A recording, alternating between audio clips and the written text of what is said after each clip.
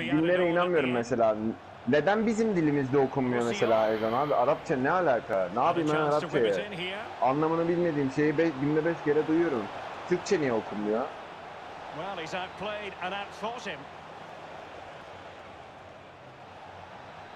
İşte evet Atatürk zamanında Türkçeydi.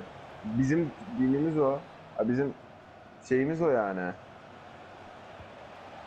Nicely timed tackle.